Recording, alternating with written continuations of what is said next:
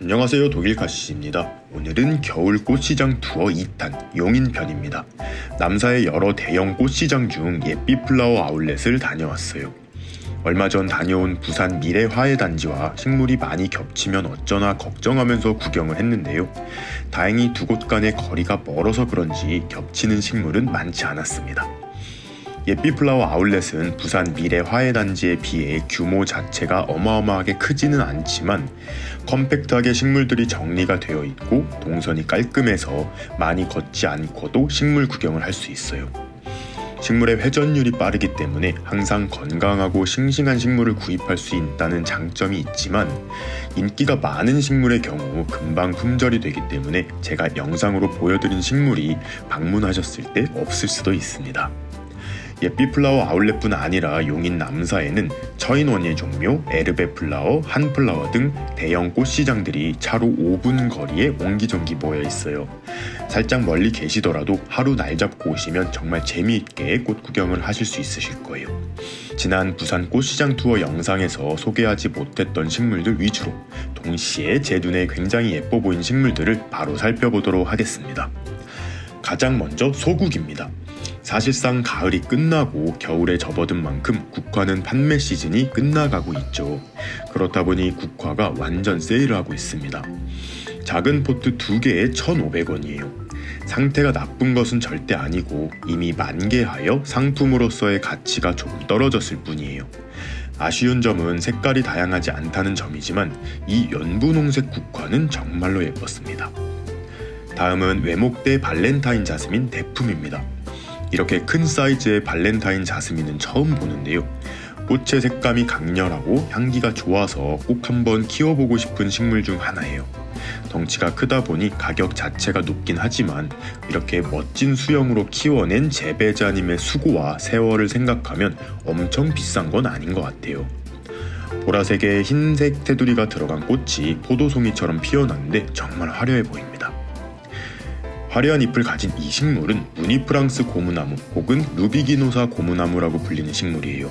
저도 집에서 작은 개체 하나를 키우고 있지만 잎이 작고 너무 예쁜 고무나무예요. 이 화분에는 벤자민 골드라는 이름표가 붙어 있는데 루비기노사가 맞는 것 같습니다. 올해 초 일본의 한 식물원에서 대품의 루비기노사를 보고 한눈에 반했는데 국내에 판매되는 개체 중에선 가장 크기가 큰 것 같아요. 하나밖에 없는 줄 알았는데 네다섯 개의 루비기노사 큰 화분이 있었습니다. 겨울, 특히 크리스마스가 다가오면 빠지지 않는 식물 포인세티아입니다. 다양한 크기의 포인세티아가 판매되고 있었는데 요즘은 빨간색 포인세티아뿐 아니라 크림색을 가지거나 주황색 잎을 가진 포인세티아도 있어요. 살짝 식상하실 순 있는데 이 포인세티아는 눈이 휘둥그레집니다. 이렇게 큰 포인세티아는 처음 보는데요. 밭에서 잘 키우는 고추에 맞먹는 사이즈예요. 물론 가격이 작은 포트묘에 비해선 비싸긴 하지만 대형 카페 같은 공간에 하나 놔두면 포인트로 정말 좋을 것 같아요. 오랜만에 보는 스노우 사파이어입니다. 이상하게 이 식물 역시 겨울철에 주로 판매가 되는데요. 초록색 잎에 하얀 눈이 내린 느낌이 아주 인상적입니다. 스노우 사파이어는 사실 소개하지 않으려고 했는데 다음에 소개할 식물 때문에 카메라에 담아본 거예요. 빛이 강한 곳에서는 잎의 색감이 어두워지고 흰색 부분이 줄어들기 때문에 살짝 빛이 차광된 실내에서 키우는 것을 추천합니다. 스노우 사파이어와 닮았지만 조금 더 영롱해 보이는 이 식물은 아글라우네마 화이트라는 이름을 가지고 있습니다. 스노우 사파이어가 초록 잎에 흰 눈이 내린 느낌이라면 아글라우네마 화이트는 반대로 흰 잎에 초록색 시나몬 가루를 뿌린 느낌이에요. 잎도 훨씬 동글동글한 느낌이라서 눈이 많이 가더라고요.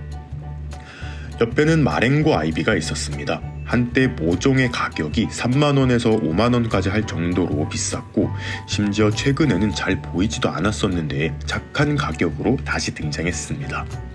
아이비 중에서 잎이 큰 편에 속하고 초록잎에 크림색 무늬가 들어가서 굉장히 예뻐요. 저는 베란다에서 줄기를 길게 키워내 본 적이 있는데요. 어느 순간 한 번에 무너져 내려 고사했어요. 너무 예뻤던 기억이 있어서 베란다에 공간이 조금 생기면 재도전을 해보고 싶은 식물 중 하나예요. 프리티 터틀 바이올렛입니다. 저도 처음 본 식물인데 어마어마합니다. 대왕 바이올렛이라고 생각하시면 될 것 같아요. 잎이 거의 손바닥 반만 하고 잎맥이 잘 보여서 터틀, 거북이라는 단어가 이름에 들어간 것 같아요. 일반적인 바이올렛이나 미니 바이올렛에 살짝 식상함을 느끼신 분이라면 이 대왕 바이올렛도 한번 키워보시면 좋을 것 같아요. 다음은 역시 겨울꽃의 대표 주자 카랑코에예요. 요즘은 카랑코에라는 이름표 대신 각각의 품종명을 붙여두는 것 같아요. 보통 홑꽃이면 카랑코에, 겹꽃이면 칼란디바라고 하는데 요즘은 크기와 꽃의 모양, 화색 등이 다양해지면서 그 경계가 흐려지는 것 같아요. 가랑코에도 개발 선인장과 비슷하게 해가 짧아지는 것을 느끼고 꽃을 피우기 때문에 겨울에 주로 꽃을 피워줍니다. 삭소롬입니다. 이곳에도 삭소롬 혹은 바이올렛이라는 이름표가 붙어 있어요. 그런데 부산 꽃시장 투어 영상에서 많은 분들께서 삭소롬과 바위 바이올렛의 차이점을 알려주셨어요. 비슷하게 생기긴 했는데 삭소롬은 꽃대 하나에 여러 개의 꽃을 피우지만 바위 바이올렛은 꽃대 하나에 꽃 한 송이만 피워준다고 합니다. 고로 지금 보이는 이 식물은 삭소롬이 맞는 것이겠죠. 보라 삭소롬과 흰색 삭소롬이 있습니다. 외목대로 키워도 멋지지만 이런 식으로 큰 화분에 합식하여 풍성하게 흘러내리도록 키우는 것도 정말 멋진 것 같아요. 제가 키우는 삭소롬들도 포기가 커지면 풍성하게 삽목을 해서 진천 온실 한켠에 가져다 드려고 합니다. 주인장 믿고 사라는 온시디움 환타지아입니다. 이건 저도 정말 좋아하고 강추하는 식물이거든요. 꽃도 예쁘지만 향기가 정말 최고입니다. 다만 저는 완전 샛노랑 환타지아를 좋아하는데 이곳 환타지아는 아직 봉우리 상태라서 샛노랑 꽃인지 노란 꽃에 빨간 점박이가 들어간 품종인지 알 수 없었거든요. 그래서 당장 사세요 라고 추천할 수 없어 아쉬웠는데 식물 구경을 다 하고 집에 가려는 길에 환타지아가 새로 입구가 되고 있는 거예요. 그 중에 꽃이 핀 개체가 하나 있어서 봤는데 샛노랑 환타지아였습니다. 얼른 가서 개 타세요. 이곳에도 사랑초들이 몇 품종 보였습니다. 품종명이 있는 사랑초도 있고 이름이 없는 사랑초도 있었는데 정말 마음에 드는 사랑초가 있어서 찍어보았어요. 바로 이 사랑초입니다. 흰색 꽃이 진짜 큰 사랑초예요. 처음에는 땅콩 사랑초의 흰색 버전인가 했는데 땅콩 사랑초라기엔 잎이 그리 크지 않았어요. 잎은 많이 크지 않으면서 꽃은 정말 커서 너무 예쁜 것 같아요.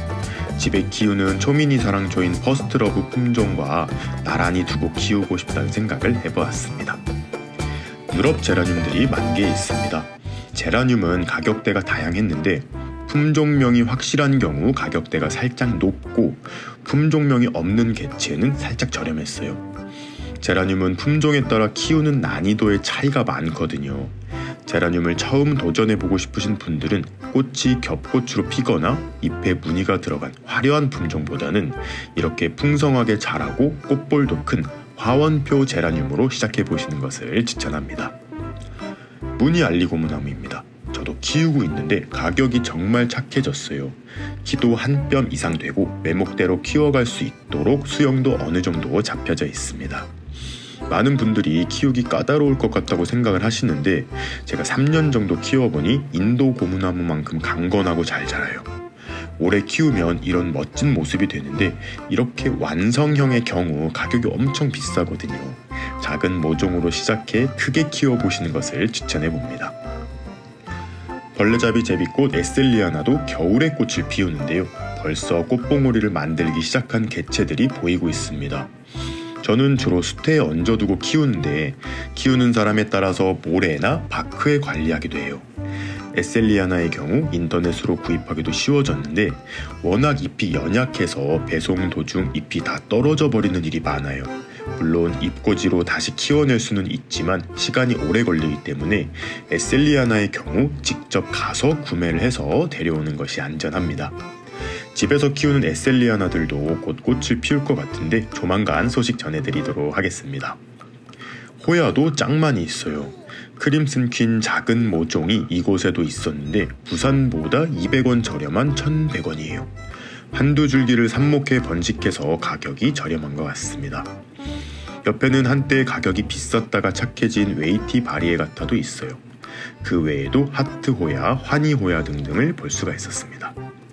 호야 중에서 페페를 닮은 품종도 있는데 리사 호야라고 해요. 뭔가 호야 같지 않은 관엽식물의 느낌을 가지고 있는데요.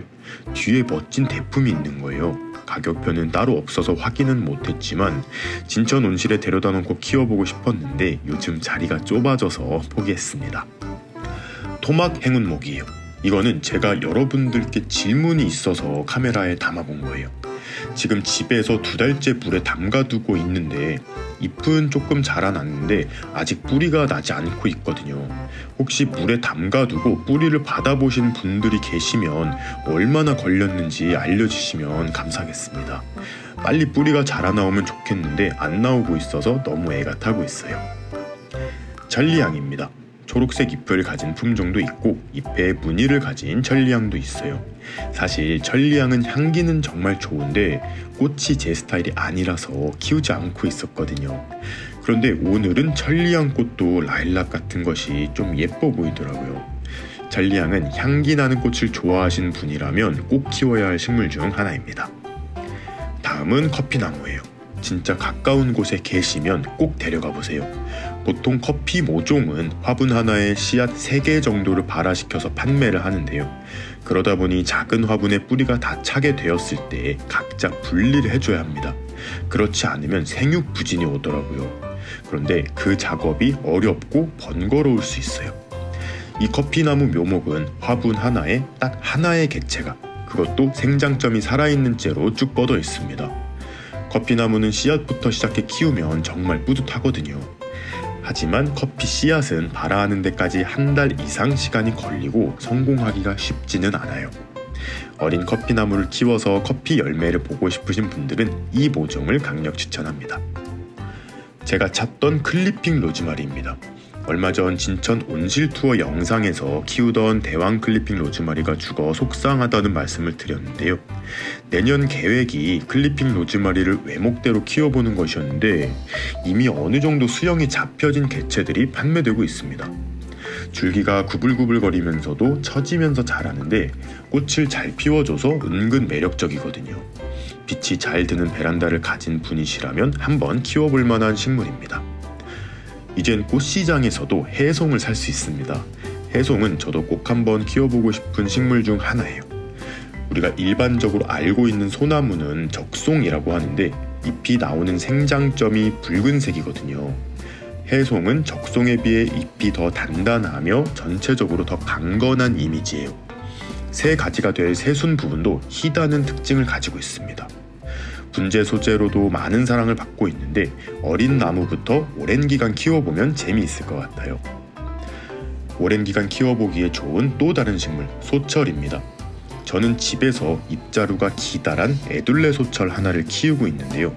이 소철들은 성장 속도가 정말 느려요.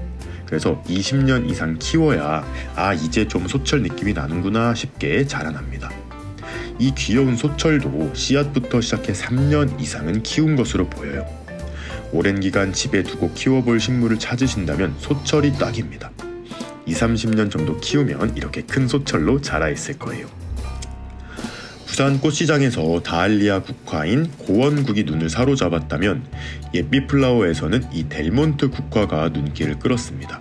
고원국과 비슷한 외형을 가지고 있지만 꽃의 색감이 전혀 달라요. 제 눈에는 약간 주황빛의 노란색이 가미된 느낌으로 다가오는데요. 뭔가 따뜻한 색감을 느끼게 해줘서 좋은 것 같아요. 작은 개체들도 있고 큰 화분들도 몇 있었는데 가격도 착한 것 같습니다. 이제 무늬 보스턴 고사리도 꽃시장에서 쉽게 구할 수 있게 되었어요. 화분 크기에 따라 가격에는 차이가 있는데 예전에 비하면 많이 저렴해졌습니다. 다만 이 무늬 보스턴 고사리는 무늬 발현되는 것이 복불복이에요. 어떤 개체는 무늬가 화려하게 나오고 어떤 개체는 무늬 부분만 나오거나 초록색 잎만 나오기도 해요. 최대한 처음에 무늬가 화려하게 들어간 개체를 선택하는 것이 좋은데 무늬가 좋은 개체였다 하더라도 시간이 지나면서 무늬가 옅어지는 경우도 있어요. 정말 복불복이기 때문에 운에 맡겨야 합니다. 다양한 율마들도 있습니다. 일반적인 율마도 보이고 중간중간 흰 무늬를 보여주는 눈꽃 율마도 있어요. 오늘은 유독 샛노란 이 율마가 눈에 들어왔는데요. 써니 크리스탈이라고 하는 비교적 최근에 개발된 신품종 율마예요. 일반 율마에 비해 잎색이 훨씬 노란 빛이라서 황금 율마라고 부르기도 합니다. 내한성이 강해서 남부 지방에서는 노지 활동도 가능하다고 해요. 기회가 되면 꼭 키워보고 싶은 율마 중 하나입니다. 괴근 식물 중 하나인 알부카예요. 대부분의 괴근 식물과 마찬가지로 아프리카가 원산인 식물입니다. 꼭 쪽파를 파마시켜 놓은 듯한 모습이 인상적인데요. 저도 오늘 처음 안 사실인데 봄에는 향기로운 꽃도 피워준다고 합니다. 흙 속에 묻혀 있어 잘 보이지는 않지만 알뿌리를 생성하는 식물이에요. 예쁜 토분에 심어서 관리하면 정말 유니크하면서 멋진데 빛이 부족한 곳에서는 이 파마머리가 잘 발현이 안 된다고 합니다. 와송입니다. 예부터 약용으로도 활용한 우리나라 자생 다육이라고 보시면 좋아요. 소나무 잎처럼 뾰족뾰족한 것이 기와에 붙어 자란다고 하여 와송이라는 이름을 가졌어요. 지금 한창 여우꼬리를 닮은 기다란 꽃기둥을 보여주고 있는데 와송은 한 번 꽃을 피우면 그 포기는 죽는다고 해요. 꽃을 피우고 완전히 죽는 것은 아니고 꽃을 피운 줄기가 죽으면 옆에 생성된 새끼촉이 성장하는 생육 사이클을 가지고 있는 거예요. 마지막으로 바오밤 나무 묘목입니다. 정말 좋아하는 나무 중 하나라 씨앗부터 키워본 적도 몇 번 있어요. 아쉽게도 모두 실패를 하였습니다. 바오밤 나무도 종류가 굉장히 다양한데 저는 이 이름표 속 키가 크게 자라는 그랑디디엘이라는 바오밤 나무를 좋아하거든요. 그런데 그랑디디엘이는 씨앗 자체도 구하기가 힘들어요. 아마 판매되는 이 바오밤 나무도 그랑디디엘이가 아닌 디지타타 품종일 확률이 높아요. 어떤 품종인지 확실치가 않아서 아쉽지만 포기했습니다. 예삐플라워에는 다양한 식물들도 많지만 식물 지지대와 슬릿분을 비롯한 원예 자재들도 정말 많이 있어요. 식물을 키울 때 필요한 자재와 영양제들도 한 번씩 살펴보면 굉장히 재미있거든요. 식물 구경 후 자재들도 한 번씩 구경해 보시길 바라며 오늘의 식물 투어 영상 마무리하도록 하겠습니다. 그럼 오늘도 재미있게 보셨거나 도움이 되셨다면 구독과 좋아요 그리고 알림 버튼까지 눌러주시면 감사하겠습니다. 뿅